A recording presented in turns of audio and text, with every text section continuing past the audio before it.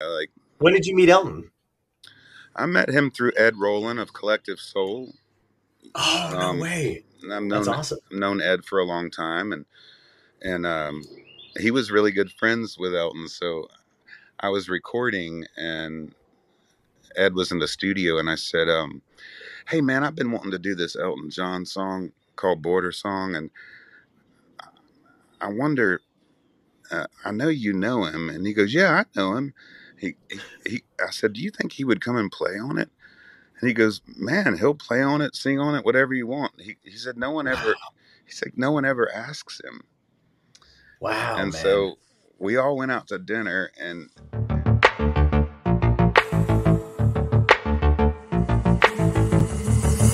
Tokyo tonight.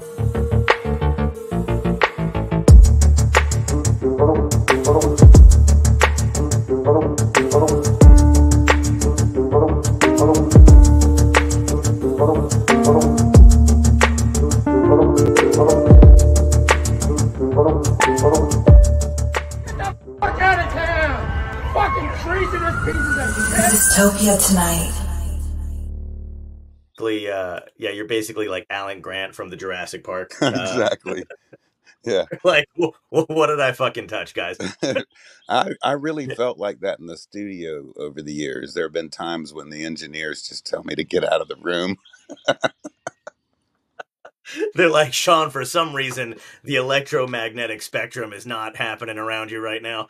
can Yeah. you can you guys just get clear of the room? Oh, that's pretty great, man. Well, thanks for doing this, dude. I Oh man, it. thanks for Um, having me. Yeah, absolutely, man. It's uh it's an honor, dude. I've been a fan for a long time, and it was cool getting to like just meet you uh with Glen and just hang out That and was. like shoot the shit, man. That Yeah. was great. I know it was really good meeting you too, and and good uh, catching up with you, and and uh, I've I've dove back into your comedy. It's been really great. I, I knew of you before, but it's really nice to catch up on some stuff that I you know you know how it is, man. There's so much Absolutely. so much out there. Yeah, absolutely, man. Thank you. I appreciate you even taking the time to to look it back up, man. It it is crazy too, because like you know, I you don't even realize how much time goes by before you see people that you enjoy or like or whatever until like I didn't realize it really until like uh like you know the pandemic kind of set everything time wise into like a different perspective and and and basically like motion because we lost so much time. And then when you see people after the fact, they're like, "What happened to you?" And I'm like, "Well, that's a weird way to say hello, but all right." Um, yeah, it is. Yeah. It does feel kind of like um, lost time, and also uh, just time where I, it also felt like borrowed time in a way. You know, where like for folks like you and I, or many others that have to travel with their work. Um, Yeah. not not getting to entertain people and all of that and then so you end up in this whole other world you know where you're at Right. home or you're in a space and i kind of liked it um Me too. you know i got to where i really liked it the, sorry about moving locations here i'm No, gonna no worries. i'm gonna go to my original spot um Yeah. my beagle's barking so What a great expression, by the way. That could mean that could mean literally anything. i know i know it's like john candy and planes trains and automobiles my dogs are barking oh My God, that is by far one of my all-time favorite movies. I watch it every year on Thanksgiving. Yeah, it's such a good one. He Yeah. was he was the perfect sad clown, wasn't he? Oh, totally, absolutely. Ha- have you seen the Steve Martin documentary that's out on Apple? No, not yet. No. Oh man, there is a. Uh, it's so good. It's a two-parter because it it his it covers like you know his early life and whatever, but it covers the first part covers the majority of his rise in stand-up, Okay. and then it end the first part ends with him leaving. You know, like when he walked away from that, and then the rest of it continues to movies, banjo playing, you know, um, uh, writing and all that other stuff. Um, but there's a scene where he's got this room full of his old scripts. Uh, Every movie that he's done is like leather bound scripts and it's the planes trains and automobile script and he pulls it out and he goes um and he goes there's this great monologue that john does um you know at the end of the movie and they cut it for some he goes you know i guess for time or whatever it is and he goes but i it's when he tells me you know um when i find out that he's been homeless and that his wife had died. And he basically and he and he opens it up and he reads and he goes, but I'm standing across from him and I'm crying. You know, I'm like trying to hold it together in the scene. And he says, um, he goes, he's got this beautiful line where he goes, you know, I could handle the Julys and the Junes and the Octobers. And he goes, but, you know, it's the holidays where I hold on, tend to hold on to people tighter. And with you, for some reason, I just couldn't let go. And then Steve Martin starts to choke up. And I'm sitting there watching this documentary. I'm like, God damn it. Son of a bitch, you know? Yeah. Like, yeah, it's just great. Oh man, and I'm I'm a massive Steve Martin fan too. I mean, Yeah. I I grew up on my brother. You know, I'm 57 now. Just turned 57 a month ago. Oh, congrats, man. Oh, thanks. And my my brother got Let's Get Small when it came out. Oh, So I was so probably like, you know, 10 years old, something like Mhm. that. And Right. and it was the 8 track. And and man, I memorized it. I memorized it. I love that thing. I didn't even know what he was talking about most of the time. You know, being that age. yeah. And uh some of the political references and none of the sexual references. And so, you know, Right. but it's just I just loved him as an entertainer and I loved the movies too. And and uh, did you read his book Born Standing Up? Oh, I did. Yeah. I Yeah. lo- it's the best book on stand up I've ever read. Isn't that great? And it sounds like the Yeah. documentary that first half might kind of be like the book was in a way, right? It was absolutely. They were definitely. I think they they were definitely they they took excerpts from his audio version of the book and like placed it and throughout that uh, Yeah. first part. It was beautiful. Yeah, I Um, bet. I remember I remember reading that book. That's one of those things where like and I'm sure you've had this happen too where you've read an, another artist that you admire like their trajectory in the business or whatever and it makes you re-fall in love with why you did it in the first place or why you started and you're like I needed this. This is a very nice, you know, gift to the world. Yeah. You know, I, I actually had that experience yesterday. No. I get it a lot. And, and I think if, as long as I, I'm open and I'm kind of always listening and not just to music, but comedy as well and, um, and reading, but, but music especially does that for me. And, and, um, and records, uh, recordings, I guess I should say, of things, things that Yeah. I'm listening to. And I, and I, when I was a kid, uh, around before that time that I was mentioning, my dad had, he had stolen, I'm sure, the record because he, I, I mentioned it in my shows before, but my dad worked at a, a record store as a second job and he Yeah. would steal all the promotional copies and bring them to our house if they, if, if the records were any good That's you know? so we had this Yeah. killer record collection from the early 70s late 60s all that you know? Hmm and um but one of those records was jose feliciano live in london at the palladium at the palladium. And my first uh, hearing of light my uh, light my fire was his Mhm. version not the doors Wow. And so I grew up on that version, which is really something. You know, it's a really cool Yeah. version.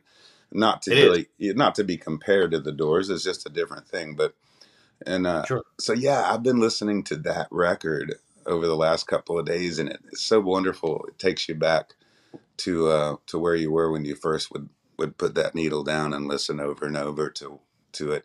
Yeah. You know, and uh, it's cool to see that he's still out there doing it on some level. You know.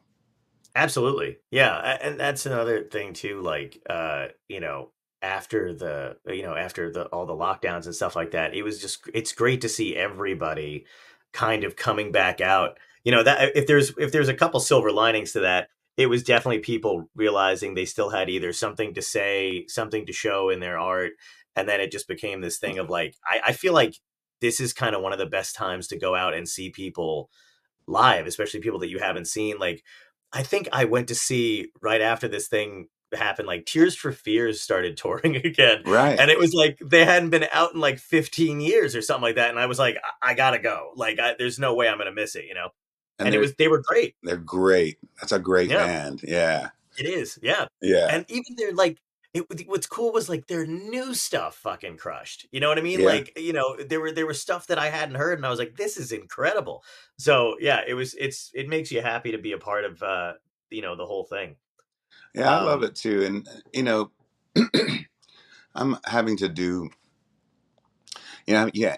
I don't know how much you still do stand up and get out there and travel a lot. I I'm still doing maybe sixty to seventy shows a year. That's all. Um, and as you know, that's not very much. Uh, and uh, I know at one point I was doing 250, 260. Yeah. You know, just that kind of grind. And um, but you know, once you have a kid and and uh, it, everything kind of changes. For me, it did anyway. And hmm so, yeah, I've just really I do enjoy doing it, but I'm it's, I'm kind of more picky and choosy now. You know, I'm like I don't Yeah. want I don't want to play everywhere. I, I, I you know just it's too tiring for one. I got it, it it just about kills me to go out for more than a couple of weeks. Oh yeah, man, absolutely. And, and the I, I love that you said the being more choosy thing because that was something that um I take uh, my friend Joanne, one of my best friends, uh, in it's in life and, and in comedy. We started together, but like as soon as I started headlining, I was like, "Do you want to go out on the road?" Because I don't want to be paired with some lunatic. Uh, and we just we just we love all the same music. We love showing each other new music stuff. So it's you know half the fun is that drive to wherever the fuck we're going Yeah. and then getting on stage and everything else in between is work but like that's the best parts um but we were very we got very choosy about like i don't need to be doing these these gigs anymore like you know that i that i just to but i, I that's a great i have a great question for you about uh, i like how i complimented myself. I have a great question coming up. You're like that's that's garbage by the way. I won't I won't like tell you it's a great question because you already did. yeah you're like i'll be the judge of that. Um but uh but like so you were you were saying you were doing like you know and i know that grind too where you're doing like 150 250 gigs whatever and then you take it back down to 70 do you have or, or like was there some kind of adjustment you had to make um to tell yourself as a musician or as a creative or an artist that you don't need to be out there as much? Because like there's something i think ingrained in everybody especially uh, especially for comedians like when we start out it's like if you're not out there or, or you don't want to be out there every night you're fucking you, you'll just get bad you won't get good. But like there also has to be a certain point where you know you you have to kind of tell yourself like uh you know okay look i've been doing this long enough. I i have the con I, I have to reassure myself that you know uh talent doesn't rust. I may have to shake some shit off every now and again but for the most part i got this and i don't need to be doing that. Was that like that for you going down to to like fewer gigs for yourself? Like how does your brain function with like you I know think doubt? if you have any? Yeah, as you were saying that, what what came to my mi- mind was age. I think you know, and and like how long I've done it sure is is is what affects that the greatest, because um, you know I really do love doing it still, but yeah um, but I think yeah, I think I think it's age, it's wear and tear, um, you know, and then you you're right. You do have to kind of have a balance. You you don't want to go out rusty. Um, yeah you know, bands tend to good bands tend to rehearse a lot before they go on tour. You hmm know, I tend to work up set lists, different songs if, if I can, if I have time. Um, but I also tend to play. uh, You know, it's different for comedians. I think you can't. You probably have to constantly change your your set and your stuff, right right? A- hmm And and then repeating that wouldn't be. I I guess maybe once in a while you could do that for fun, right? Like to poke poke something in from from a while back, but it's not cool yeah probably to to go out and do your regular stuff all the time, right? You you want to I keep I always have new stuff like and yeah, I- and I and it, and it just got into that habit because of what you just said. Like when they when you start out, they're very much like, okay, these audiences. I was there. I was in this place last year. If I come back and people come back and see me again with the same shit, like right, they're going like without without any new stuff sprinkled in, they're gonna be like, I can't come back again. They'll come back and see you twice. They won't come back and see you right. like a third and fourth time again unless they think it's new. That's really different than than music. You know, I in my world anyway, they Yeah, they've got their favorites that they want to hear, and so you you know you're going to need to do those, and I don't mind doing them. Um, yeah, and then and then hopefully you're you're coming up with new stuff too. But I don't think that not for me anyway. It wouldn't be the same at all. Like I don't feel that right, kind right. yeah. I don't feel that kind of pressure to have 10 new songs a tour or something, or, or each year even. Like hmm I write so slowly now too. That's another thing. It's ridiculous. It's I almost go okay, you know. But I really want to get back to writing by myself. I spent years co-writing, and, Right. and um and you know, it's a completely different animal. It's you, there's there's help. You know, you have to do it all by yourself. It's a different thing, and I enjoy that. And I, you know, of course, I started off that way, doing it for many years. But so, but I do I do write slower now. So I tend to not be in a hurry to put out a new album or you know. And there's You many, seem like you're kinder like to yourself, like because I know that you know um, when you're when you're definitely when you're younger, you're like kind of beating yourself up over not turning stuff out. But it sounds like you're just very kind to yourself about like, yeah, man, this is just what I who I am right now, and I'll and I'll get an album out when I'm ready. Like, is that the vibe? yeah. That's good. And it wasn't like that when I was younger. That's for sure. I mean, sure. of course, if you're signed to Columbia Records and Sony Music, you're going to have plenty of uh, even unspoken pressure. You know, like that. You know, so there was a. I, I put out what I, when I look back on it, the second Sony release. I wish they would have let me put out the first one I delivered. Right. It was a cooler record, but they wanted hits. So I I was like, okay, you know, I'll, I'll write some more and see what I come up with. And I co-wrote with a couple of people that, and we came up with some more poppy kind of stuff, which is what they wanted. But my Right. my audience didn't resonate with it. You know, they Right. they thought they thought about it what I think about it now when I listen to it. I'm like, yeah, it's not, you know. And so, and that's the only real big mistake I made in that all of that. But but it's a big one because Yeah. because you go from almost 2 million records to about 250 the next one you know and so Right. Right. and so but i'm not and that's what really made me start thinking about why am i doing this again because I, I had been doing it for 12 or 13 years at that point so you know once Sure. once i was ready to leave columbia records i and i, I really did want to go with like some little label again you know Yeah. and i'd done my own label for 10 years um, so and it, it does mean less commercial success when you do that, of course. But I, I just wanted to get back to the, kind of doing what I naturally do and what I uh, would be proud of doing. You know? Yeah. Sure.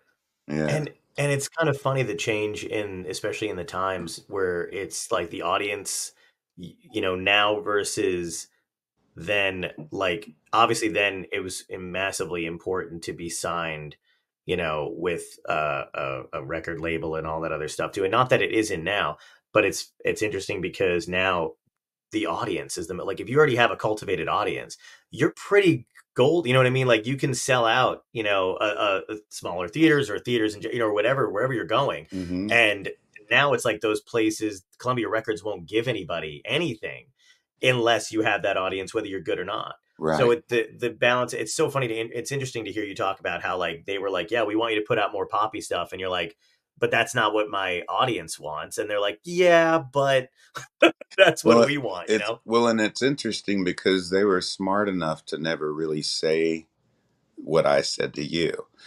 Uh, you oh know, right yeah, like the pre, like the president at the time, they had just switched presidents from Don Ienner, who was very intimidating, and uh, Mm, like I'm sure he's a, a good guy, but he was just intimidating.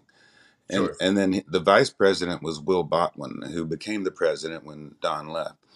Now, okay Will had been the manager of Los Lobos, Steve Earle, um, Rosanne Cash, and a lot of Americana cool stuff. Um, yeah so now he's the new president. So I'm thinking this is perfect, right? You know, right absolutely because the the word Americana hadn't even been introduced, but that's kind of when I knew that's kind of what I was in a way. It's kind of this combination of whatever, you know. It's a bunch of different stuff. yeah Um, and but yeah, he he called me and said, you know, we just need something we can knock down the doors at radio with. That's what he said. It wasn't I okay need it to be more poppy, you know. You know, it it was more of like, you know, so you know, and I tr- and I tried. yeah no i mean and was it was it God damn it, I tried. yeah, I believe. Yeah, exactly, man. It's so funny. It's like I I, I always find it interesting when uh when people come into another artist's world and they're like they know they they see what's working and what got them where they are, and then automatically they try to like switch the gear. And I'm like, just elevate the. And they do that with comedians in comedy all the time too. Like you know, they they find you. I've had this happen to me. I mean, I just recently I've had to drop and switch management and all that other stuff because you know they find me they kind of pluck you into their world Mhm. and they they do this thing where they're like we love this we love what you're doing we love blah blah blah blah, blah. and then you sign and then they're like here's what you're going to do now and i'm like that doesn't sound like me yeah, like you know it's like it's like when you get into a relationship and they you know they fall in love with you and then they slowly change you and then they want to leave and they're like you're not the same person you were and i'm like you fucking you made me wear this shit. I used to be cool. That's like, like what happened? it's like what, that old Sam Kinison routine about about uh, you know if you really want to lose lose the person in your relationship, you you start doing a bunch of blow, and you grow a beard and you sell the TV, and then yeah. and they're like, "You're not He's the man I fell in love with. I'm leaving." yes. Absolutely. He's the fucking best. He's the best. Yeah. Yeah, I was. oh my I loved him too, and I I'm a really big Bill Hicks fan to this day, and oh yeah. and I'm really just you know I feel like you know over the last 10 20 years things are catching up to what he was already doing you know? It's yep really interesting. it's so funny when you see guys like that and um and Carlin and all those guys who were like you know on one hand you're like my god they were so uh rel- like sim- simultaneously relevant and ahead of their time and then you also kind of get sad because you're like my god the same shit they were talking about is still fucking happening yeah you know from like the 70s and up you're like how is this possible? Yeah.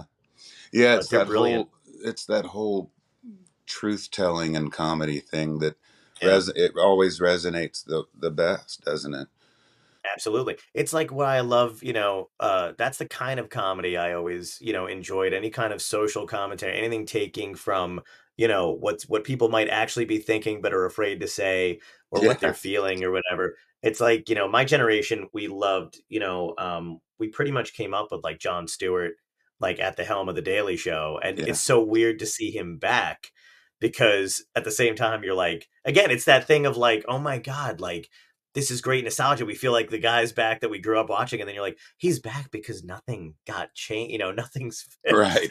Like, there's a reason he's back yeah Yeah, yeah exactly. You're like, holy fuck, this is brutal. yeah Um, I was going to ask you about so so does you know post Grammy stuff because I also want to go back into like you know obviously how you how you got started and everything, but what is it like post Grammys? Is it better for you after like you know i mean i'm sure it's better in some ways but did you feel um, an immense amount of pressure or change anything like after all that kind of happened you know what i mean like musically and career wise or were you Mm-mm. just riding the wave No, I didn't feel any different other than That's wow, great. I can't believe I got nominated for a Grammy, you know. Yeah. that was about it. I mean, that's cool man as soon as they said who was who I was up against, you know, I was like, okay, well, I don't have a chance, but but that's pretty cool and right and and and then you also don't know uh, you know, I've heard that it's it's pretty political and it's kind of bought and paid for all of it and yeah it is nominate nominations and and and and the actual Grammys, but but uh, I don't know that for sure. I'm you know um, I don't have proof Yeah. of it, but um, no, I I was proud of it, and uh, I remember going though and kind of feeling like a you know like a redneck or or like white trash or I just Hmm. I felt really like un, underdressed even though I had gotten a new suit.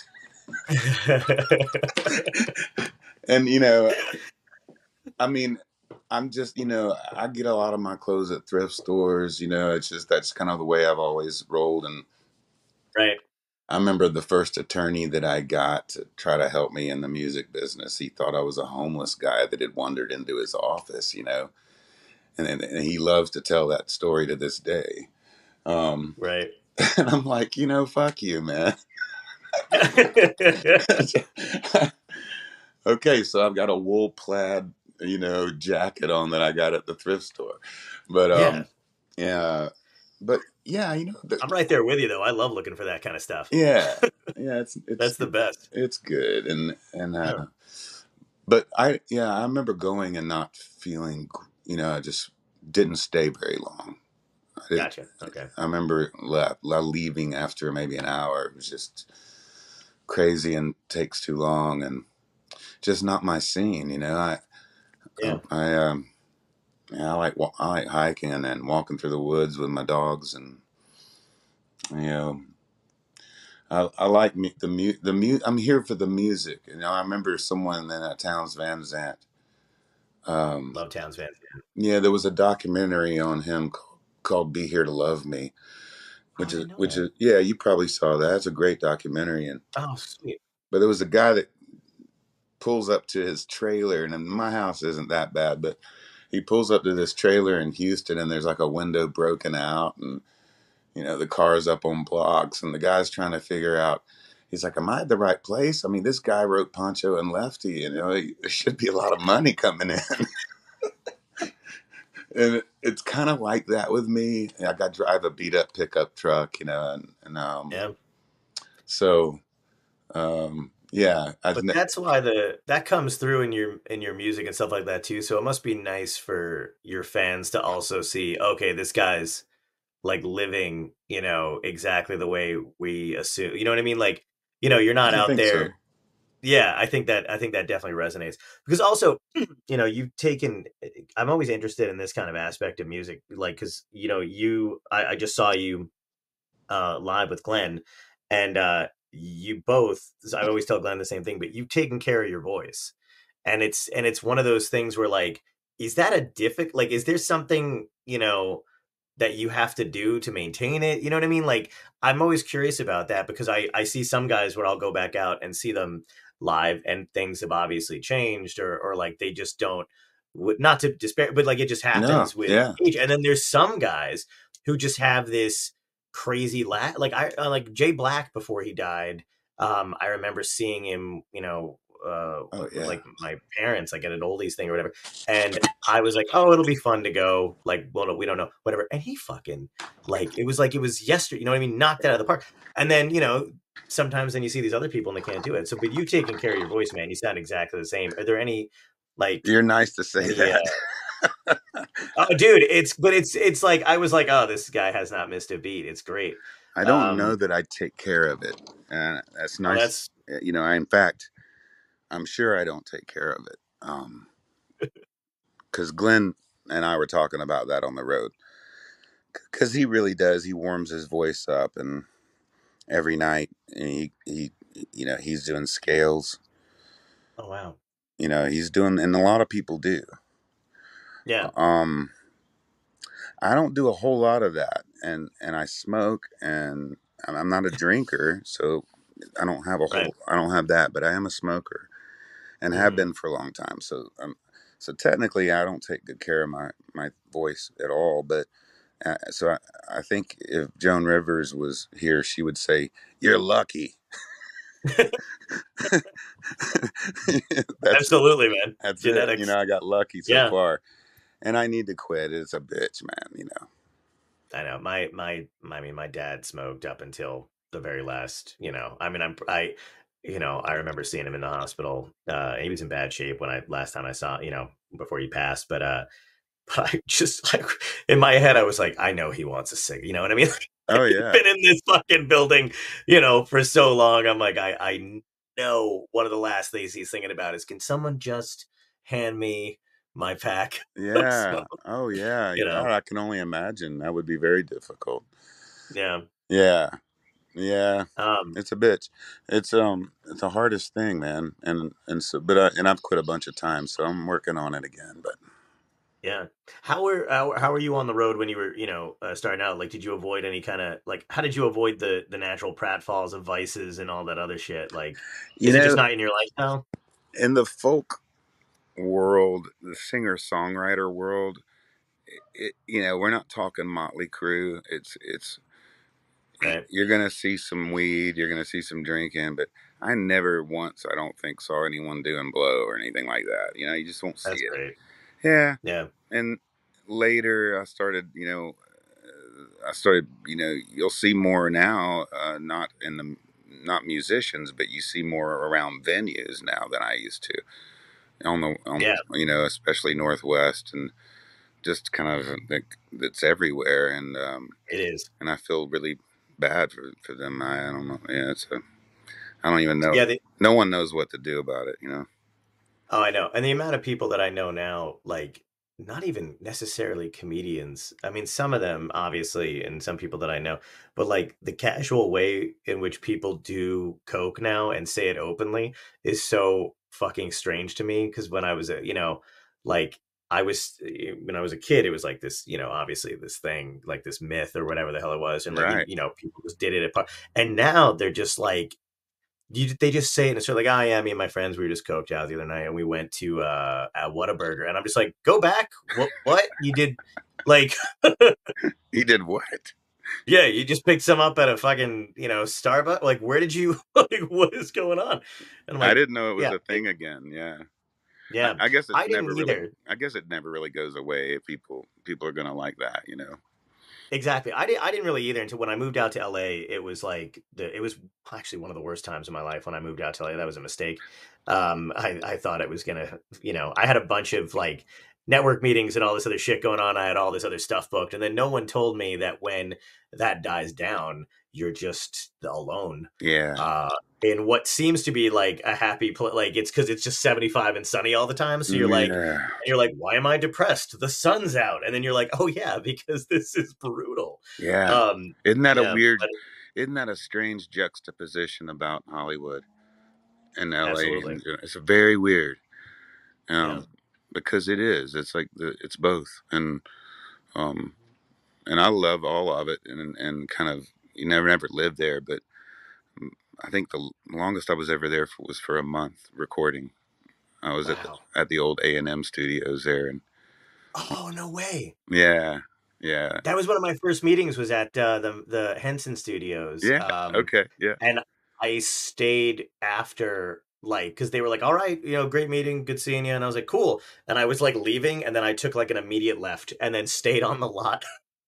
like, you see the Charlie Chaplin stuff and all that. Oh man, soundstage. That was cool. so fucking cool. Yeah. And Yeah. the weirdest thing over there, because I guess just people, you know, they must be doing meetings. I don't know what they're doing, but Freddie Prinz was just hanging out. Um, Freddie Prinz Jr. was Yeah. hanging out on the uh on the outside of the lot, and I had- didn't know it was him, but I had stopped to ask him directions because I couldn't figure out where to park. And then he was like, "Oh, cool, man. Do you have a meeting?" And then I realized it was him, and I was like, it, just froze like an idiot. I was like, It- yes. I'm like, do they does Freddie Prinz Jr. just greet you at the Henson Studios? This is awesome. Like LA is amazing. isn't that funny? And Yeah. You, you mentioned on another episode of yours that you were talking about, and I can't remember if who who the guest was right now, but you guys were, were talking about how, you know, even stars or people that are celebrities can get starstruck. Yeah. and it's really true and that you know no matter kind of i've always wondered if it was because of film and tv like the two-dimensional aspect of that and and uh i don't know what it is you know i think that that just all of a sudden gives people this kind of fantasy yeah. you know the the viewer or the listener but the viewer in this case for sure because you're here you're seeing them and i think Yes.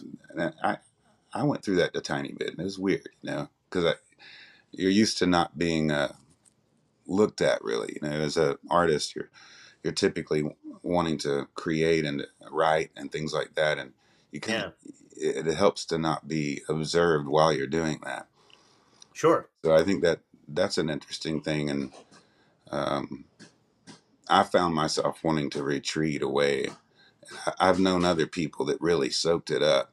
And I don't think Yeah. that's a bad thing. I, you know, I, I think I just tend to shy away. You know, Right. but I but I always sign stuff for people and try to be kind to them. You know, and uh, not that I have some massive following, but the fan, the fans that I do have, and they're Yeah. they're really great. You know, so Are they are you good about like taking photos and stuff? Do you like that kind of thing, or you know? Well, the COVID thing kind of messed that up, and I stopped doing them during that. Of course, sure. I got COVID one time doing that. Pretty certain. I'm pretty certain that's how it happened. Was I was you know hugging and taking pictures after the show.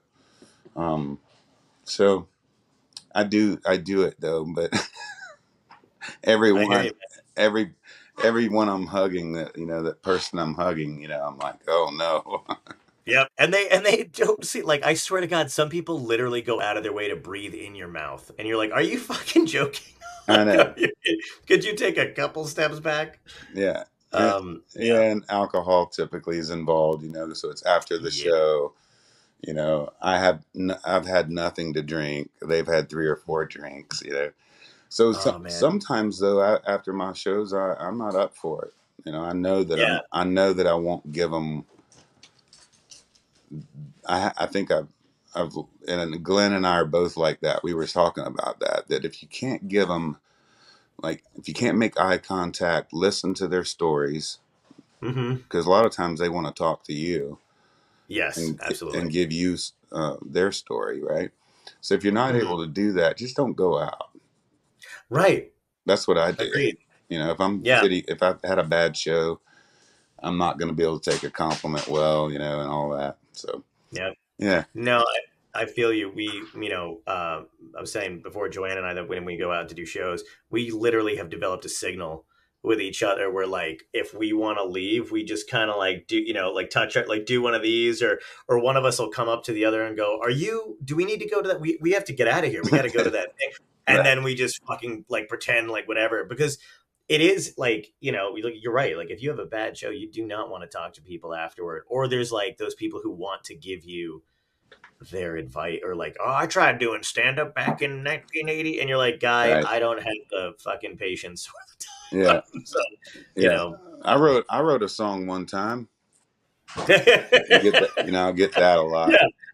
yeah exactly Yeah. um did you so when you was there anybody else in your family who was uh, musically inclined like what was your like trajectory into like who got you into this yeah, they were all kind of musical. Um, very cool My grandfather was an upright bass player and bass horns. Played big band music and concert band music. Played polka. He could play a Oh, lot of wow. a lot of different music. And um, but big band was his main main thing. And Mhm. and so my mom, his his you know was his daughter. She uh she could play piano and sing. And um, my dad never pursued it like an instrument, but he could sing just naturally. wow Um, I remember hearing him. He'd have him a couple of drinks, and then he had this huge bass voice, like wow like an octave deeper than mine. You know, just this massive. And he would sing, uh, you know, when the moon hits your eye like a big pizza pie. It's great. that's great So yeah, we were. My brother taught me to play guitar, and um, and uh, he's older. He's about six years older, and took me to all the cool concerts when when I was growing up. You know, he took me to see ELO and Queen, and oh, um, really really good shows. You know, and uh, yeah taught me to play my first four or five songs on the guitar. You know, kind of got me into it. So nice yeah. So then, like when you were decided to go into music, there were no objections. Like no one was like, "You need to stick it out and and and get a backup job," or like were they just naturally supportive? Well, my dad was pretty keen on all of us going to college. He he had not Okay. gone he had not gone to college and so it had become this thing in his own mind that his three kids are going to go to college. And um so we all kind of did did that. And I think when I look back on it, I think I did do it for him in a way, but I enjoyed it, enjoyed the experience anyway. Um, I actually, w- I actually went to a military college in North Georgia, which is, Oh, wow. yeah, it's an army-based uh, ROTC program that's kind of five days a week. Basically, it's a, it's an everyday ROTC. You live it, and it's army-based, and I probably needed that. Uh, I was Hmm. kind of on, kind of on my way, uh, you know, didn't really know what I wanted to do. I knew music was part of what I wanted to do, but I had trouble just kind of staying out of trouble. so,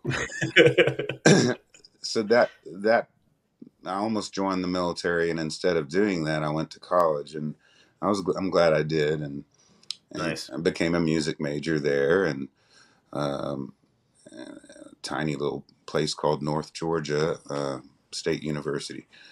Cool. It's not as big, or not as small now. It's grown quite a bit, but um, yeah. And so th- my dad, uh, though, wasn't keen on it. You know, he he wanted me to be a teacher because that's what I went to college to do. Um, so that was your other passion was teaching. yeah, I I wouldn't. I wish I could say it was a passion. Um, It was something that I would have been willing to do. Right, And- right. Now at this point, I've gotten to teach quite a bit, just doing songwriter workshops and Nice. things like that, and I love it. So I think I would have really enjoyed doing that if I had to do it, you know. And uh, yeah. but I, you know, I wanted to give this a shot. I wanted to get out Yeah. there and try to. I, I didn't know how it was going to pan out, but you know, Right. Yeah, and that's the exciting part though too. Like I I don't know um I almost feel bad for people kind of coming up exactly now and then I see how well they're good at sticking their faces in front of a camera and I'm like they're going to be fine. Yeah. But like I, there there's something about like you know, I mean I I was lucky enough to to come up like when you when you did just have to go to open mics and you still got that experience of like you know, we don't know how this is going to go. Nobody knows what's going on. This is all kind of, you know, fresh or whatever. Uh, right? so it wasn't all online yet, but I, I kind of like, you know, listening to all the people that came before me when they're like, yeah, you'll, you're going to remember this kind of stuff. You know what I mean? And, and like driving to the gig in the middle of nowhere and all that other shit. You're like, oh, okay. oh yeah, So it, you're right. You know, you do remember all that stuff. It's fun. yeah. We were talking about it on tour. Glen and I, we were we were saying uh, because you know, for the most part, you can on your phone you can get at least to the front of the club or venue you're playing now. Yeah. Okay, and, now, and if you haven't, some good directions about where to load in. Okay, there's an alleyway, and you got to go down this street. Okay, well, I think back to Mhm. 1994 Yeah. or even 1999 for that matter. But 94, I've got a Rand McNally ma- map that's one of those massive ones you would get at Walmart or whatever, Yeah. and and that's it. There, were- and Yeah. no cell phone. I'm like, so if I'm going, uh, I'm lost all the time anyway. Like I'm terrible with directions. Me too. Yeah. Me too. Oh, it's terrible. Horrible. Yeah. I was so bad at land navigation in the army that I almost failed the whole course because of my land navigation. Wow. The, it was terrible. I got, I finally got good at it, but I had to really practice. but uh, Could you did you ever do that where you imagine like what it would have been like if people like way back in the day when shit was really important had our ailments or allergies or skill level where there's like we're gonna charge that hill and then it's the wrong fucking you know what I mean? Like just that slight like how did they all know? They're so good at it. Well, eh, yeah, and and you know, and I and in that particular case, it made me think of of like Civil War history, which I enjoy a lot, and um, and uh, they didn't always show up where they wanted to, or or at the time they wanted to, and they still don't. Yeah. all- And it's still as far as infantry level, you know. Of course, we have the technology and stuff that uh, it's beyond belief, but when you get down to that kind of foot soldier level, still, uh, there are timing issues that, that that are always a problem. I think still. Yeah. Yeah, absolutely. It's it's. I always think like if I was a caveman, you know, because I I always I have to take allergy medicine like every day, and then I was like, but I just can't imagine like you know my tribe coming and be like, come on, man, we're gonna go hunting, and I'm like, yeah, I got this sinus thing, I can't really, you know, you know, I'm allergic to buffalo, you know, they'd be like, just kill him. Yeah. Why are we supporting this guy? they would have useless. they would have eaten you. yeah. exactly. Exactly. I've just been spit roasted over a fire. Like, what are we? What are we doing? Yeah. I was just crazy. watching um, a documentary on on the theory anyway that that whole area of Chaco can, Canyon, uh, that that area that's probably they disappeared around 1500 years ago but Right. but they found a lot of human bones in the same way that they find human bones that have been eaten in other places and, Oh, it's the first time that, that they they're talking about this and and it's causing some issues because native americans don't like that of course Right. um, and uh, but it's an interesting theory, and it's Yeah. w- what they ended up thinking might have happened was Aztecs came up from Mexico, and they were already doing those those practices. A lot of Sure. a lot of human sacrifice and some can- cannibalism, and that they might have gone up to that Arizona and New Mexico as far up as there and conquered those areas. So, but that kind of stuff blows my mind. I, I find it all fascinating, and people are crazy. Yeah, absolutely, man. I I, I always watch those. Those are the type of documentaries I watch like late at night, Yeah. where I'm just like, it's like I'm finally no one else is gonna bother me. It's like two o'clock in the morning, and I'm like, we did what to each other? you know, and you pass out and have dreams about it. Yeah, it's wild. I know. I mean, it's the human race is nuts, man. We always have been. You know, it's yeah. People forget that we're animals, and that's the kind of shit that used to happen. And and you know, uh, I I remember, um, you know, when you find out from school that they're just lying to you about colonization and Native American. You know what I mean? Like like you know, they tell you they tell you like everybody was fine and we ate corn. Right. it was like a big, and then like you know, you find out they were full of shit. You're like, oh my god, no, this was Yeah. brutal. it's a, everybody. and I didn't know a different history until I read Howard Zinn's, you know, people's history of the United Yeah. States, which was I was probably 24 years old, so Yeah. I, I didn't I, I didn't have a clue, and I went to hear him speak Wow. and bought the book there, and uh, I was like, wow, this is this is really something, you know. Yeah. Right. But I get it. I think every every civilization and country they write their own history. I think that's Oh yeah. uh, that's what. Absolutely. I mean, just look at the way it's so funny when you think about like everything is a microcosm of something else. So you're like, yeah, of course the, you know uh, our our country wrote its wrote you know altered history whatever like that. We get our text altered in the press on a small you know what I mean? Like it's just like how many times have we given like an interview for something or whatever and they Oh, fuck us, you know, and you're just like that's not anything that I would have said or said before. or, Right. You Right. know, or they or they describe you in a really unflattering way when you they're like he walked in the door with a sullen look on him. Like, go fuck yourself, guy. I'm you know it's windy. I'm tired. It's 9 a.m. You know, yeah. You- yeah, Yeah. kinder. Yeah. Yeah. yeah, it's like that Bill Hicks thing where his face, he would say people would always come up to him and go, What's wrong?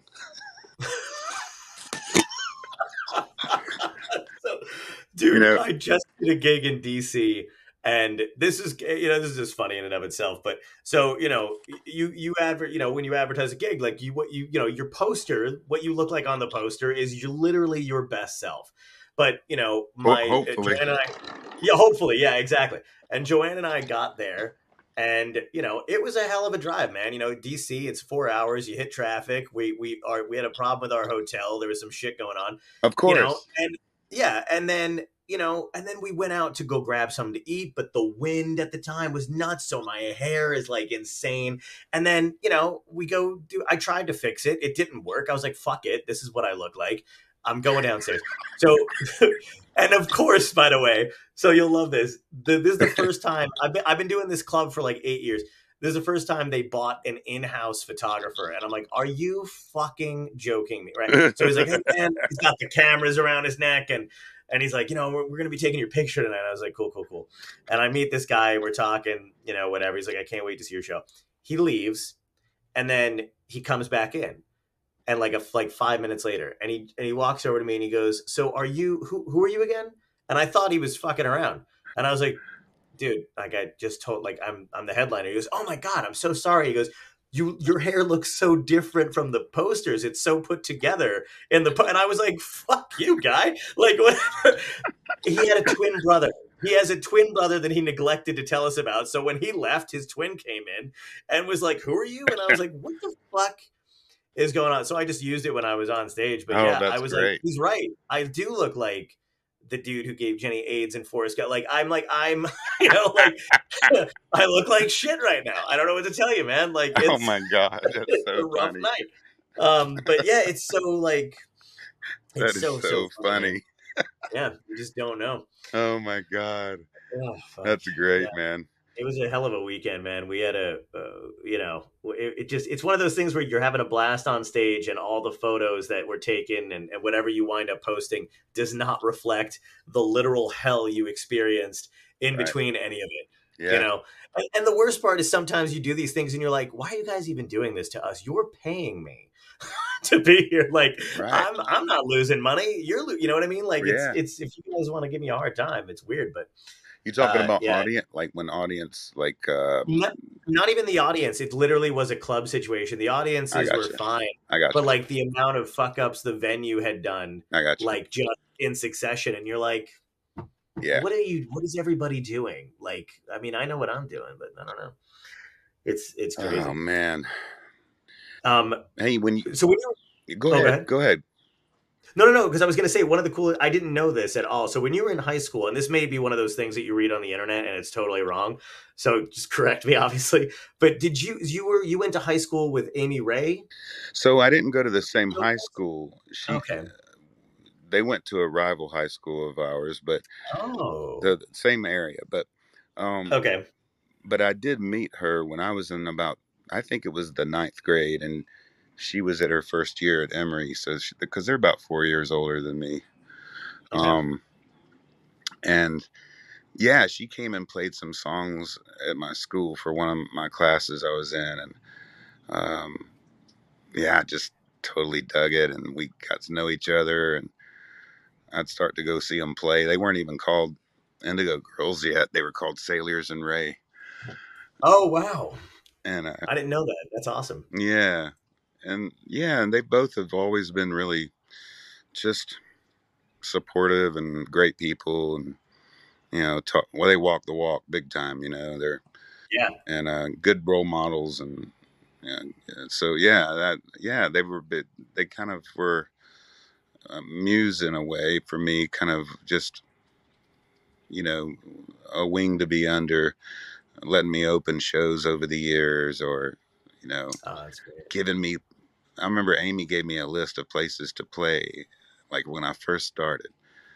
Wow. You know, she she gave me names, phone numbers of all the club owners. Of course, now that that's when your work really starts. You have to start calling them. But but Yeah. the fact though that she would share the information, you know, that's the kind of scene it was. So Right. yeah, That's awesome. I, I love hearing about that kind of stuff because I don't think, you know, I think it's kind of something that's missing now. And I think it's because um, you're not in front of people as much as you were before. A lot of what we're, a lot of what everybody's doing now is just involved with clicks and online and, and like trying to whatever. So you miss that connection of like, you know, there's not so many doors you can open on the internet when you're fighting an algorithm, but there is a door if you know a club owner or whatever right. and I, I always wanted to kind of put together these stories because that's that's phenomenal that somebody was you know that she was there and gave you a list because I had the same help when I was starting out too. They were just these guys, you know, who if they liked you or you reminded them of yourself or whatever the hell it is, they would be like, I'm gonna make you know, here's a list or I'm gonna make a phone call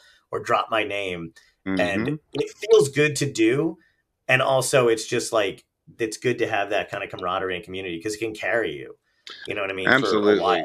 and it's necessary to to keep kind of passing the torch to i try to in my own way do that too and um but yeah amy was great i mean she's always been that way she you know if anything she can be she can be tough you know she can be Yeah.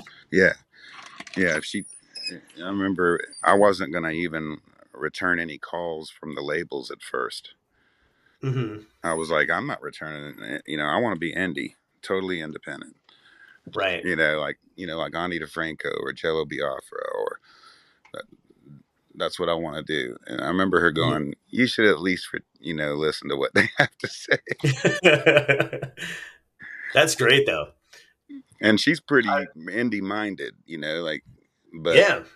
but uh, yeah, I mean, she had she was, and I ended up with you know with their their manager, a guy named Russell Carter, and I've been with him all those years. And uh, Oh, great. I'm kind of the num. I'm probably the number two or three, kind of in that roster. You know, they're the they're the main the main thing, so they they get most of the attention. No, that's, no, that's freaking awesome though. I I- they I was so bummed, man. They were here in you. You played Asbury Park, right? Yeah, it's been a long time.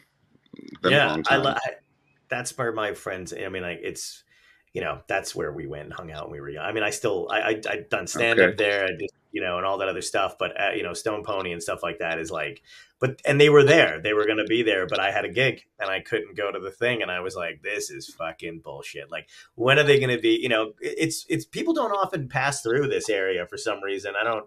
You know, I mean, I know Jersey sucks, but Jesus Christ, like, like you know, goddamn. I I always liked playing coastal New Jersey, and there's also that place, this, and I don't know if they're doing it still. It was in Stanhope, New Jersey, called the Stanhope House. Oh yeah, yeah, yeah. That was a cool venue, man.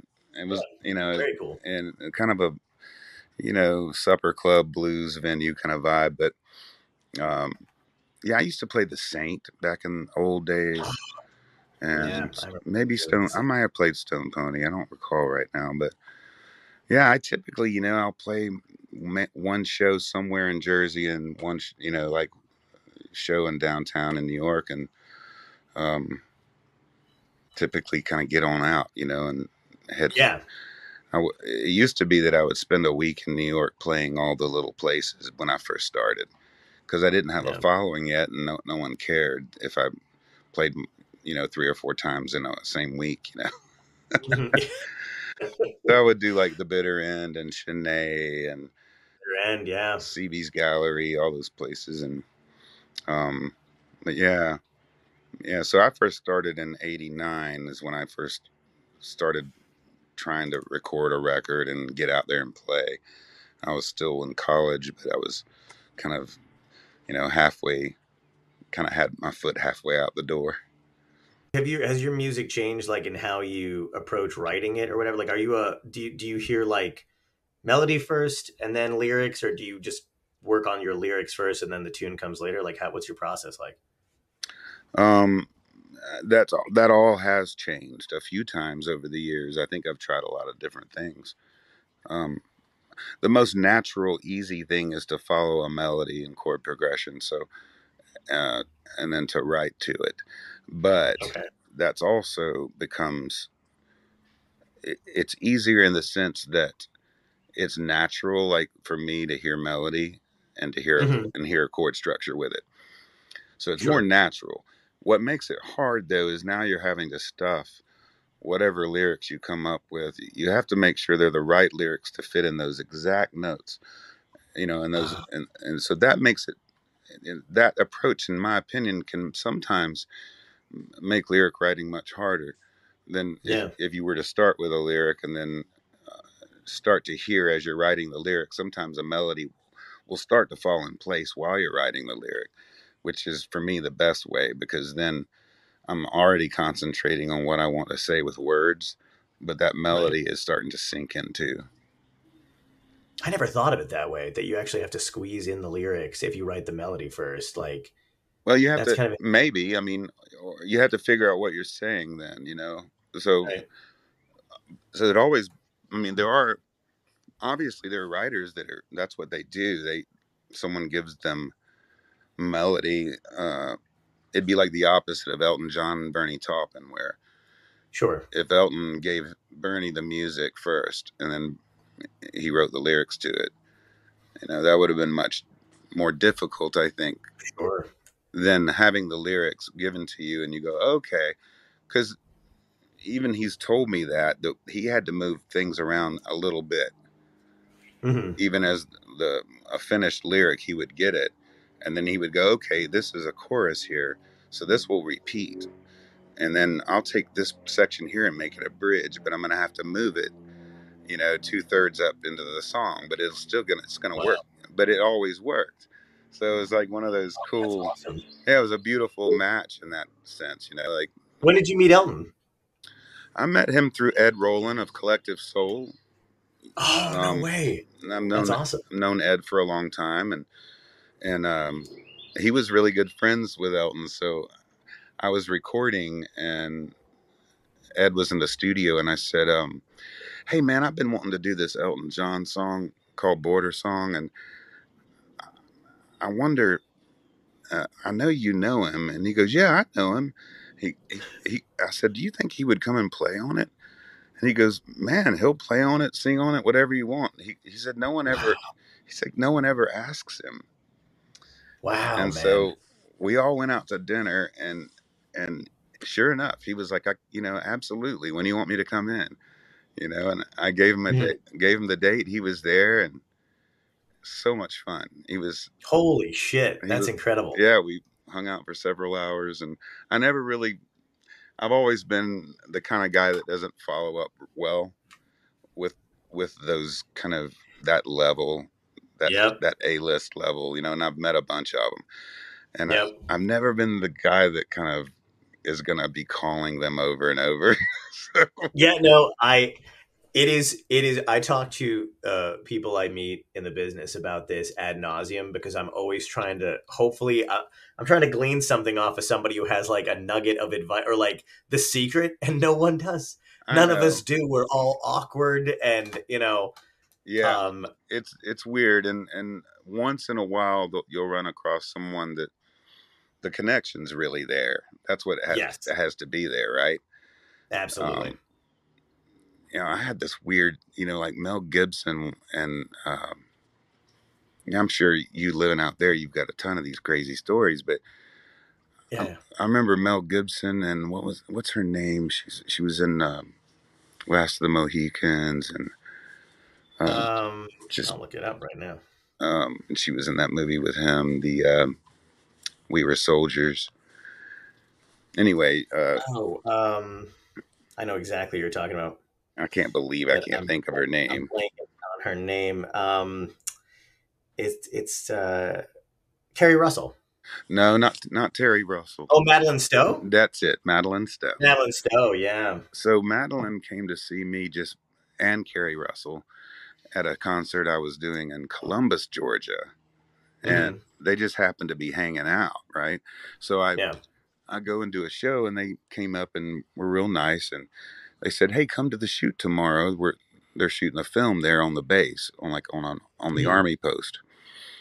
And it was that movie we were we were soldiers, and uh, so I ended up going and watching them do the thing, and it was kind of cool to watch them shoot a movie, and then we all went out to dinner afterwards, and and uh and you know everyone had a few drinks, and um, Mel's driving the SUV, and we're all in an SUV. All of a sudden, my wife at the time uh, and Madeleine Stowe, they both got up on top of the SUV while it was driving. Holy shit. And this is in a this is like in a neighborhood in in Columbus, Georgia, with cobblestone streets. It's really old and all these like colonial houses. It's really weird. But Right. they both get on top of the. They're both on top of the SUV, like hooting and hollering and having a ball up there. Right. And I'm I'm in the back seat, and Mel Gibson turns to me and he's like, "Man, I don't even have my license with me."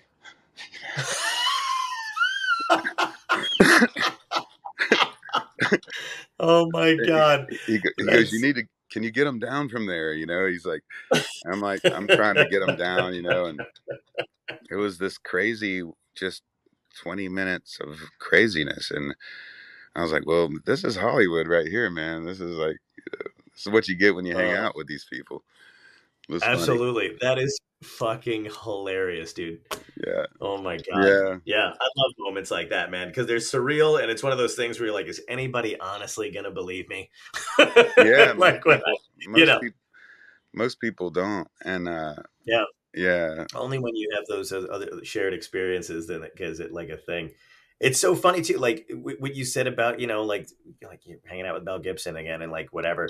Like I've had people who are like, you know, like Mel Brooks or like anybody, like where they're like, oh yeah, Mhm. yeah, you know, you got my number, keep it, or like a George Slot or whatever, and I'm like, yeah, and then I walk away and go, now what do I, you know what I mean? Like, do I text them now, later, after I get in the car, a week from now? Do they think I, you know? And it's Yeah. just like it- it's so funny. Like my brain just explodes. I had um early on, like one of the first few episodes, I had Megan Cavanagh on from League of Their Own. Right, right. And uh, yeah. And so, and she and I had become good friends. But the funniest thing in the world was she was talking to me about um, the same thing the regret of like all these people she's worked with in the movies and that she just fucking never kept in touch with because she's too whatever. And so I go, I'm the same way. You know, I've Yeah. met comedians, like bigger comedians over the years, and it's really hard to do that. And I, and then towards the end of the thing, she was like, "Well, keep in touch." And I go, "Do you?" F-? I'm like, "Are we gonna do this?" like because I will. And Are she was like, serious? "No, no."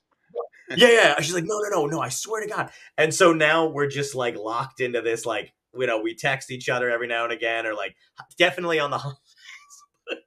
That's great. Like, I still get that thing of like, like I was, you know, like I don't know. It, it- the the weirdest thing is, is like forgetting, you know, when you when you're a fan of somebody else, you forget that you're still in this bit. Like I forget that I've been doing this for almost two decades because I meet people that I, you know, again, not just like yourself, like people that I like, especially for music industry stuff. Like your your music, like Glen's, like everybody, like you don't understand. Like I remember being on the hood of a car you know, and like listening to all the shit. So that shaped my whole life. You know, man, there's there's just stuff like that that is ingrained in in my DNA, in my friend's DNA. We have all these memories, right? Yeah.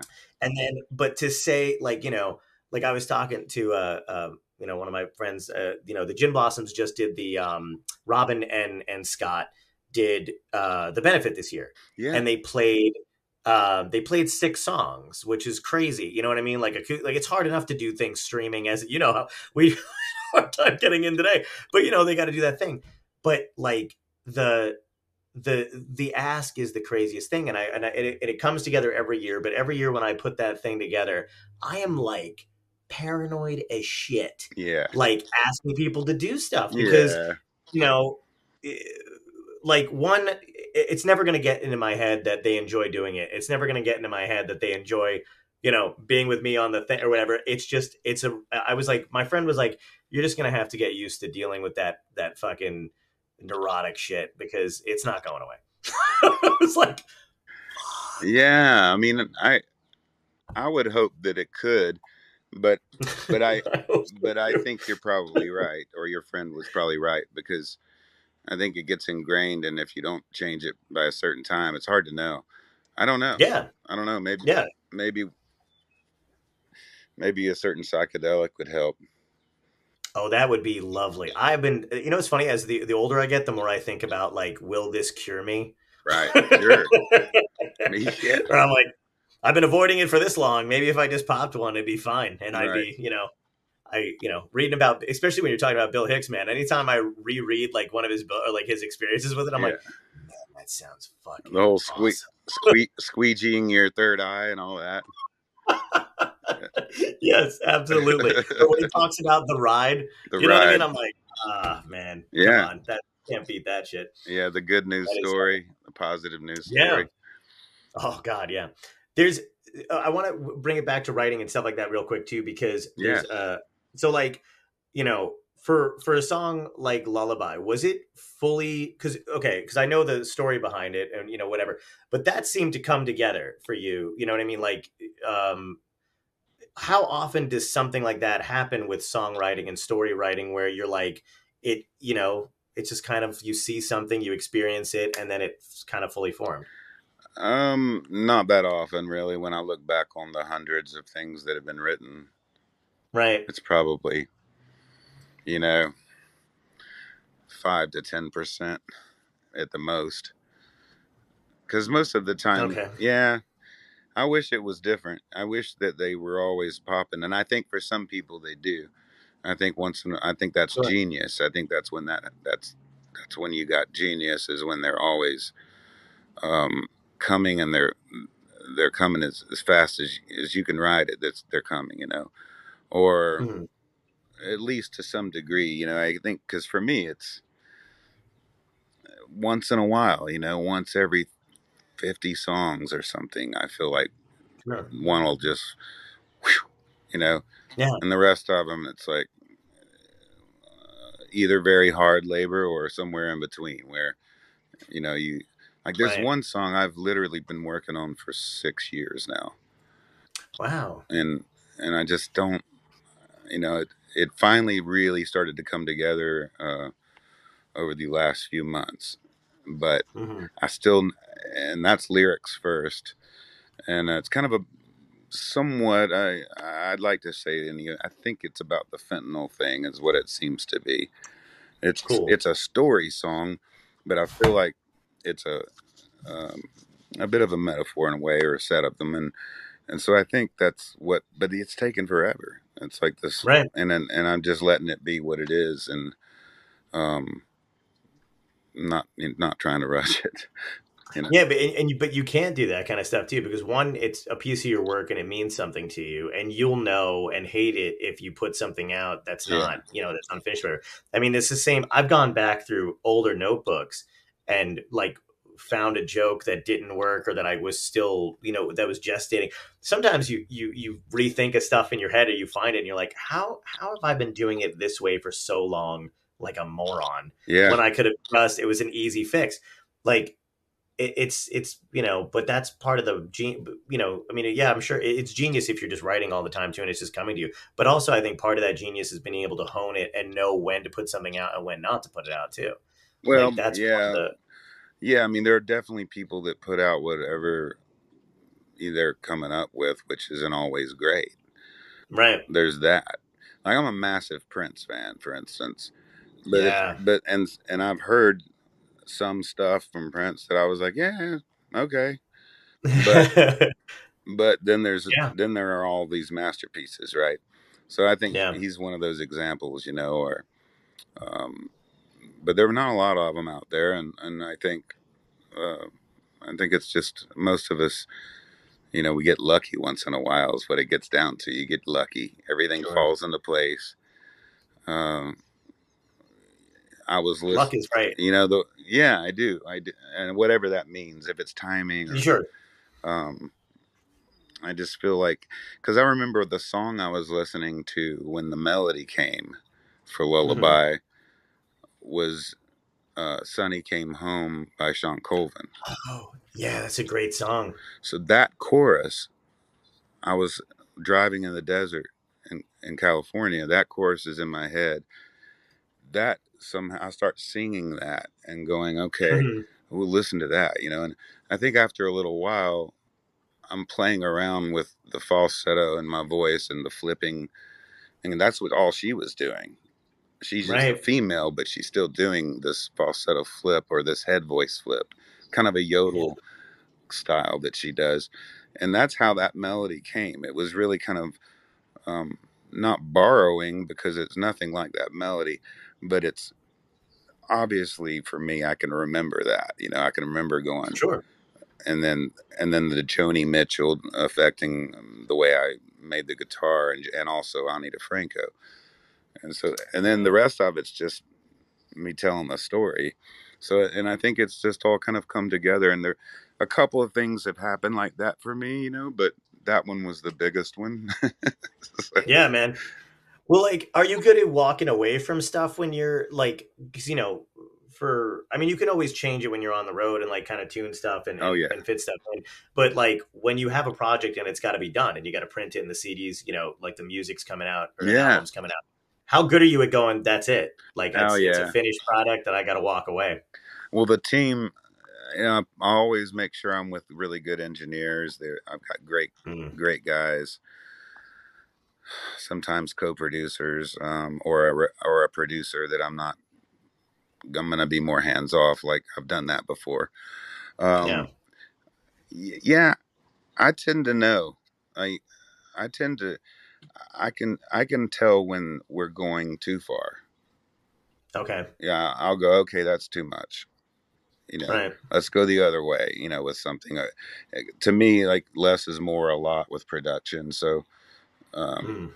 and also just kind of the way things uh, the way things are laid out kind of in the sound in the spectrum you know are you hearing it Right. are you hearing it deeply or is it kind of flat all those kind of things and and I, that's the stuff i'm really paying attention to um, and i tend to know pretty quickly if things are going in the direction that i don't want you know Right. i, I tend to get, know what i want which is interesting.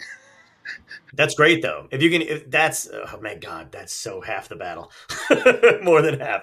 Like, Yeah, I, I'm it doesn't always always end up what I that. thought, though. I mean, right, but it but it'll end up better sometimes.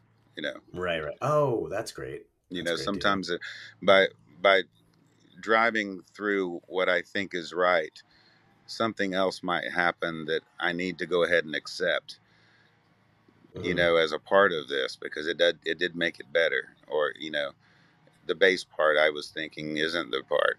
You know, it, it's Yeah. you know, um, like I heard uh, uh, bass parts are very interesting. I'm, I'm very picky about my bass parts, and I don't play, Okay. I don't even really play the bass, but I just know I just love bass. Yeah. And you know, like that Wallflowers song, "One Headlight." Oh yeah, yeah, absolutely. So it's got that that kind of almost um, trotting style bass that's going doom da da doom da da doom da da doom. That's what the bass is Yeah. doing. Yeah. And it wouldn't sound like that if the bass part didn't do that. If it went boo doo doo doo doo doo doo, just a straight rock, you know, Right. it, it wouldn't have this this really cool uh, groove. And Yeah. I I heard a version of it where they were playing it live and it was much faster, and the and the bass player wasn't doing that thing. He was playing kind of straight eights, and it, it didn't groove Right. the same way. So it's interesting, you know. I I would Wild. I would have never thought. I don't know why they did it that way, but one time at least they did. Um, yeah. they just try, probably were just trying it differently, you know. Sure, absolutely. You know, it's it's one of those things that I think is so funny too because I, you know, you know, comedians can change stuff up all the time. You do whatever you got to do, whatever, and then most people want to hear the same songs. And I think probably, you know, uh, I don't, I don't, do you- I don't know if you know Adam Duritz from the Counting Crows or any of those guys, but like my, I've gone to see them. Do you know them? I don't. I I- I got to play with the guitar mandolin guy one time on a record of mine, but and I can't remember his name. Nice. I don't know Adam though. No. Oh, it's um. So one of the things, like my friends and I just went to see. They're they're big uh, Dashboard fans, and I, you know, I love the Counting Crows, so we went to go see them live, and then they were like, and, and they know the Counting Crows. You know, we all again, we all grew up on that music, but I was like secretly joyful because I know when you go see the Counting Crows live, Adam for some reason will not play Mr. Jones or anything else the way you know it and love it. So everybody around me is trying to sing along, and oh, they Oh, that's can't great. because he's just fucking, you know, and they're like, "What is this?" And I'm dying, but like, it, and I get it because the first time I went when I was a kid, I was like, "He's not doing the fucking thing." Like, you're like, "Oh, I guess he's bored." I don't know. You know what I mean? I don't know why he's doing it, but that's great. and it's so funny. Like I was just like watching everybody, like, "Oh, wait till you fucking get to the," you know. At least he, does his at least he plays the hit though, and and I've always played it too. But the thing, one time I didn't, and I learned uh, the hard way. Um, we were in uh, Shreveport, Louisiana, at some little disco club. It was really weird, and I was in an RV at the time. I remember I was touring in an RV, and we played the show and kicked ass. I mean, it was a, such a good show. Mhm. And but at that time, and a lot of times, I end a sh- I'll leave the stage and then come back and do the big hit. Right? That's one- one way to do it. And, Sure. And and I was doing it that way on that tour, and so we, we did "Beautiful Wreck" or another one, and then left the stage, and the crowd dies down to us to like a silence. They they don't call us back out. So I look at the other guys and I'm like, well, shit. I guess they don't want to hear the The big hit. the big hit. If they're not going to call us back out, it'd be weird to walk out with no crowd going. Yeah. Right. We're going back to the RV, so we get on the RV, and the next thing we know, the crowd is outside and they've surrounded the RV, and they're shaking it. Oh shit. and I can hear people going, "Sign my wife's T-shirt, Bubba," and shit like that. and I'm terrified. And, Oh my god! and the club owner comes on the bus and he's like, "You know, I didn't get my song. You know, you're not getting paid." and and I've got this tour manager that's like seven foot tall and weighs three hundred pounds, so he's ready Mhm. to pick up the guy and shake the change out of his pockets. You know,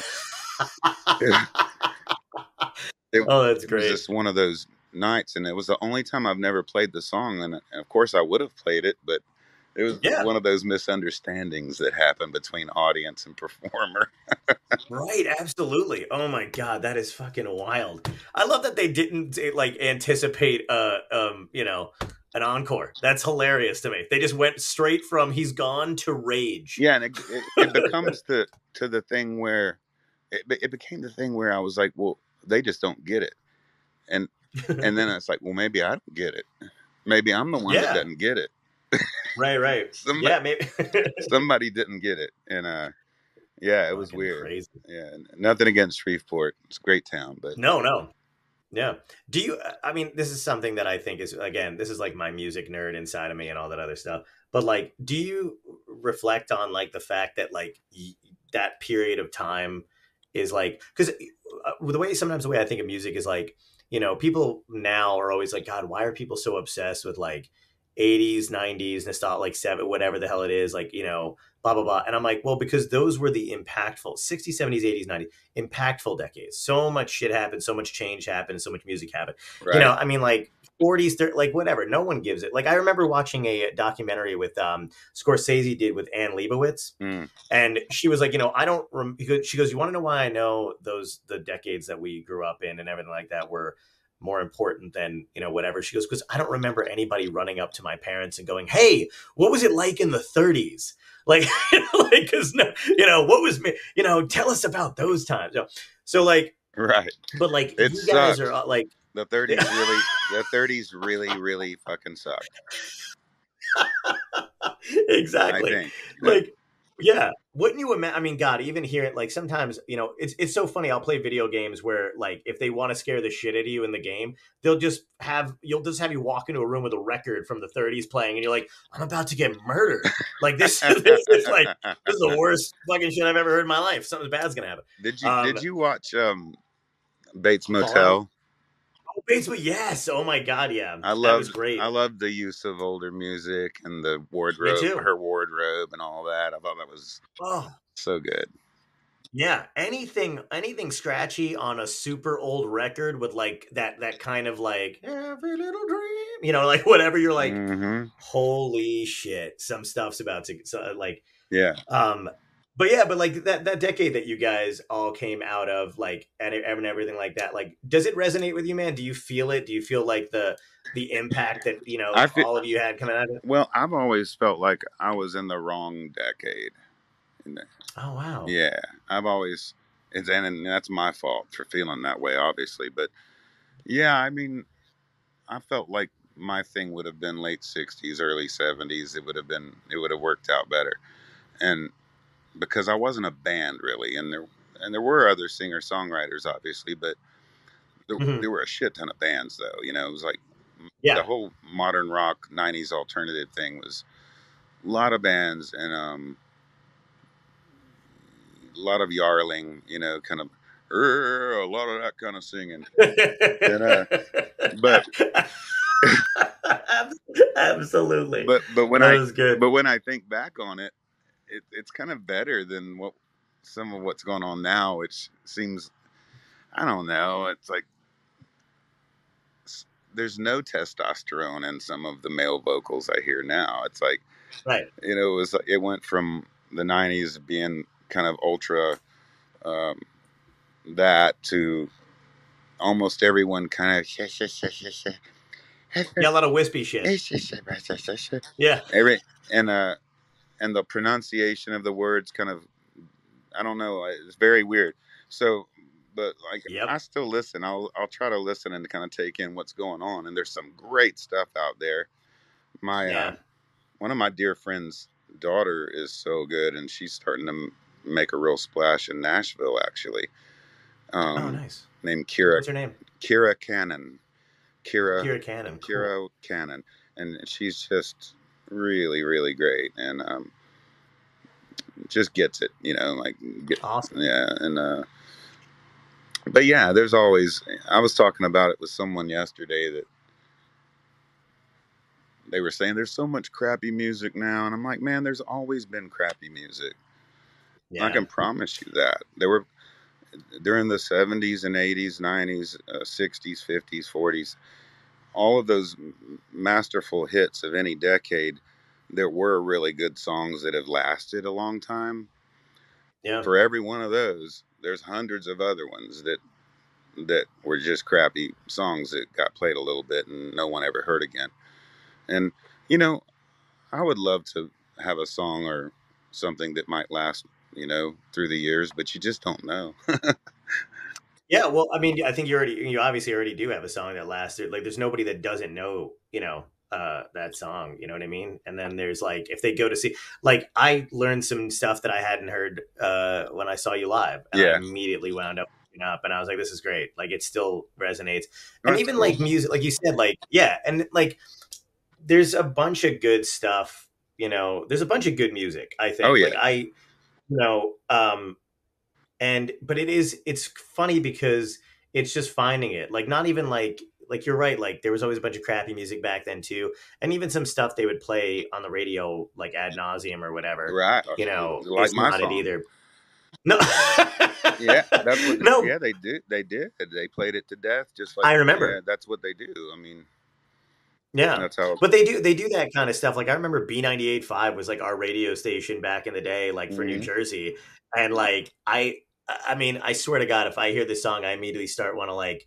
you know uh um madonna had a song out at the time when i was working in a concession stand making chicken nuggets and fries at a beach and it was like ray of light and they would play it every five minutes and i swear to god when i hear it i get like anxiety like it's like it's like a it's like a war crime. Like i'm like my god please turn whatever that is off. I can't handle it. I imagine a line or you know 80 degree heat. Uh, um but uh yeah there's a bunch of cool stuff and i think like as much as i i know the streaming services like fuck everybody over um it's a cool way to find newer newer shit like i Mhm. you know i i wish i wish they paid everybody more and i wish it was more lucrative for everybody that's working hard but Yeah. i i have found a bunch of cool stuff like you know and i try to go see everybody live and shit you know yeah, and absolutely. I mean that it has opened up that and to where yeah much easier to to to search for music, um, and there is so much out there.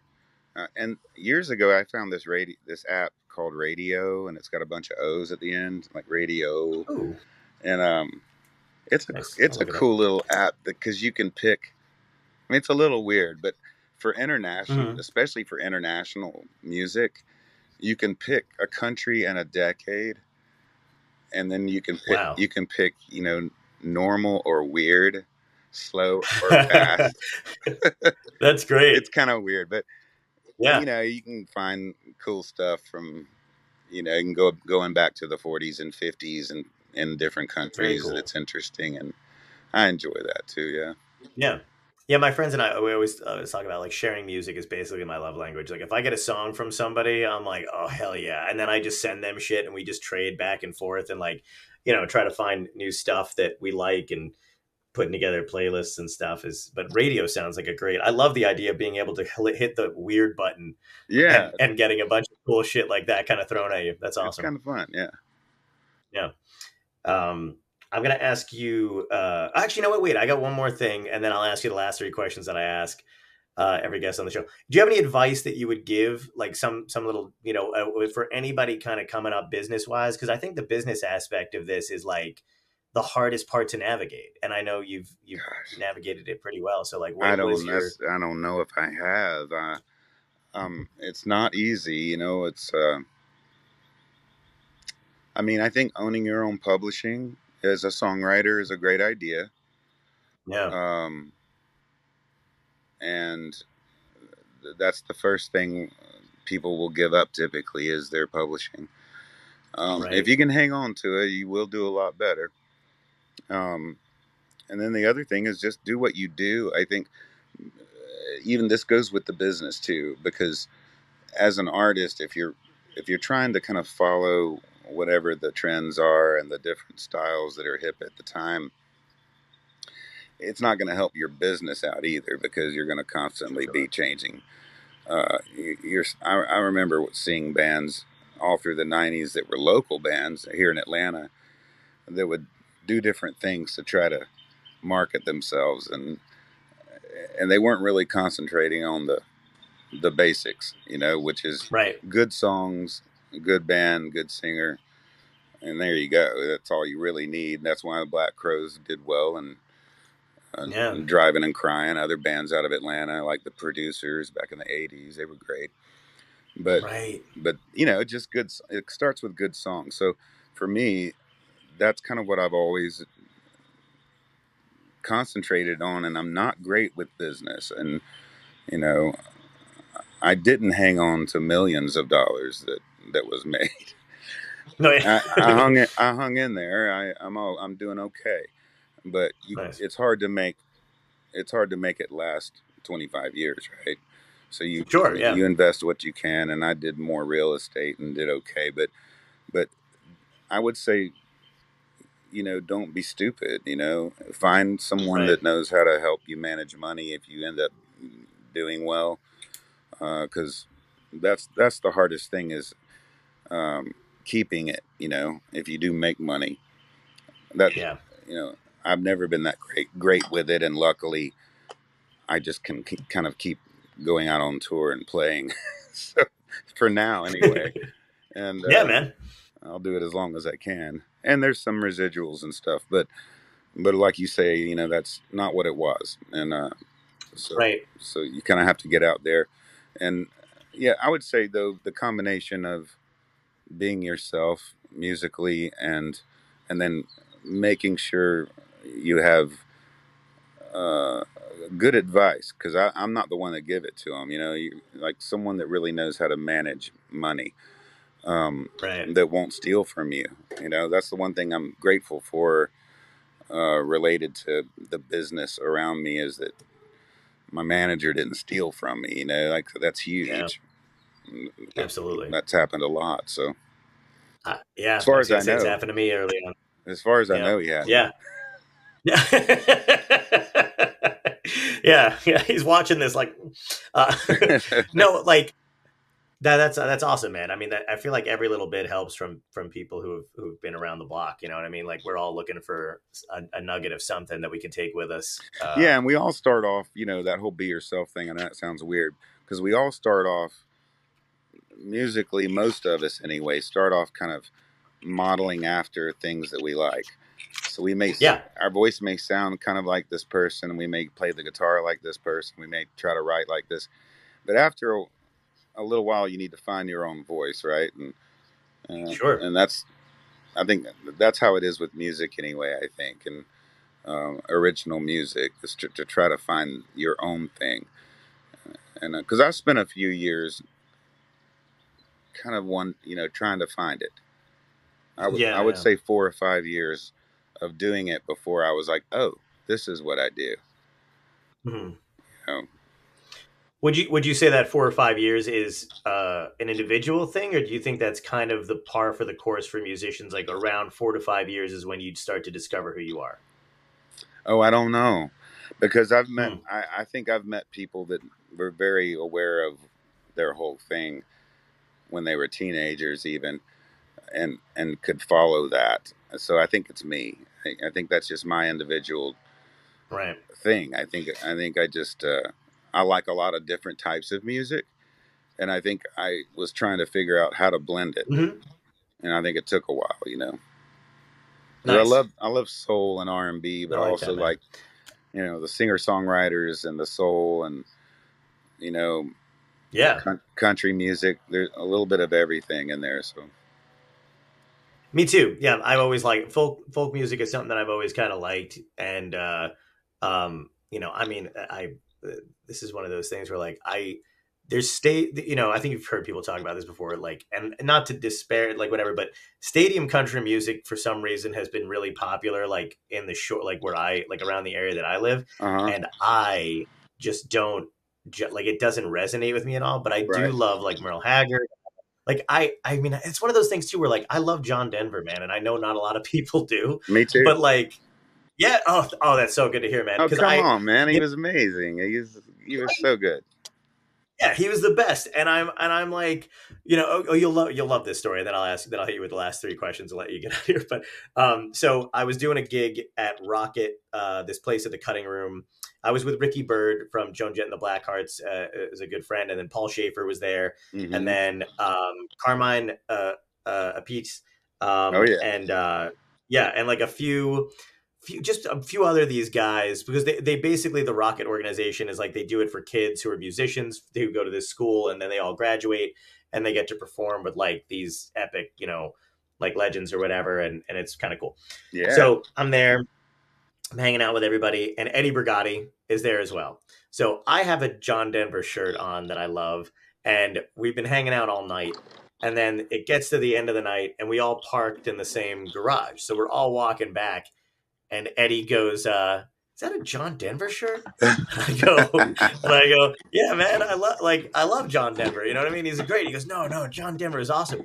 And then out of the blue, him, me, him, Ricky, Carmine, and Paul, we're all walking in to get our cars, and Eddie starts singing "Take Me Home, Country Roads." and they all start singing it in this parking garage and we're walking down doing this and i'm like this is the most surreal like all these guys love john denver Yeah. it made me so fucking happy man Well, of course like this do. is great He was. yeah I mean, you know, it's hard not to like him. He was, I know it's easy to kind of call it corny or whatever, but if you just, you know, it's it's incredible. His voice was Right? incredible, oh and his God, songwriting was incredible, and yeah and he could take a massive size venue and like bring them right into the palm of his hand.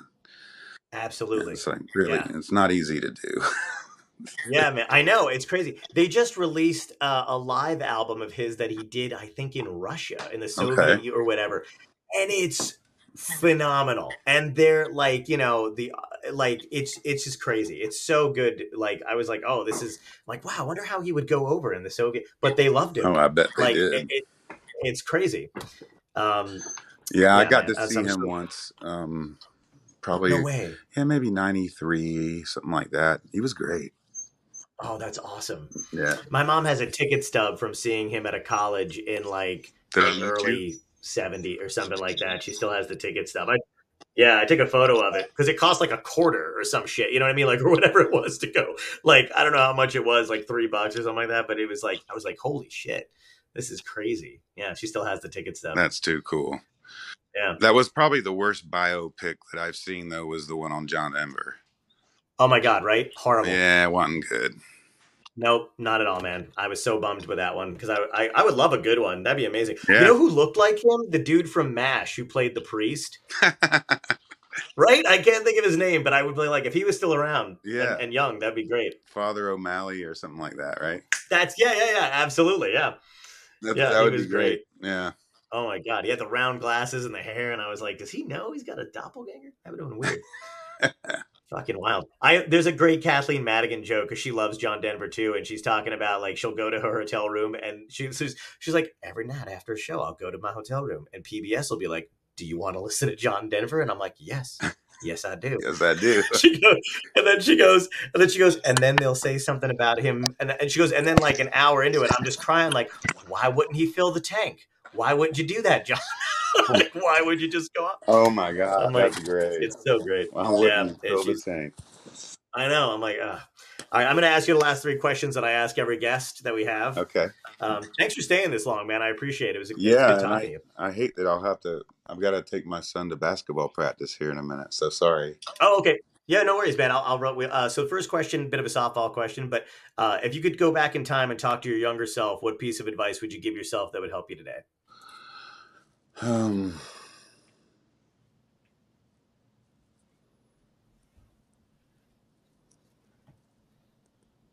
Stay. Uh, keep dreaming. Stay, yeah, keep your dreams. Don't let them. Beautiful. Yeah, yeah. Because I've had to get them back. You know. So Oh, all right. Yeah. Um, second question is, what had to end in your life, good or bad, that led you to where you are today? Um. Um. Probably. I guess. Uh, the idea that I was going to be a soldier or a warrior of of you know like with a weapon in my hand, and I Wow. wanted to become a different kind of warrior, a warrior, you know, one with a guitar. so Oh, that's so that is epic, dude. That's a great way to put that. Um, and the last question ties into the show. So, if this was a genuine dystopia, and you woke up the next day and everybody found out last day on Earth, what do you think would be happening? Would it be like a? Do you think it would be like political collapse, climate change, aliens, or zombies? And what would be your epic death? How you want to go out? oh man, Jesus, that's a lot. I know, man. I know. A complicated, multifaceted question. Good question. Yeah. Um, hmm. Well, I think it'd be interesting if uh, I, I I I don't want that to happen. First of all, you know, like I'm, right. you know, but uh, I I wrote a song that, that kind of deals with that subject, and uh, Oh, nice. yeah, I would say um,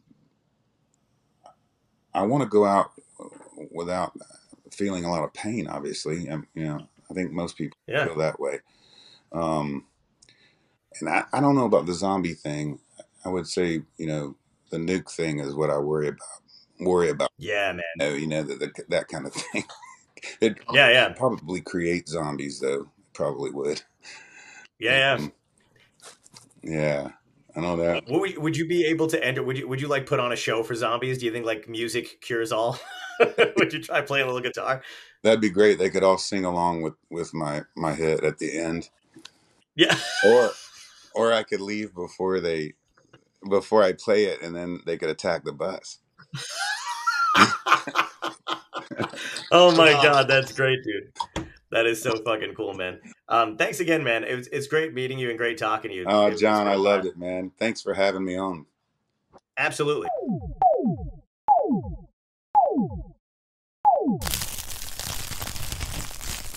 Dystopia tonight.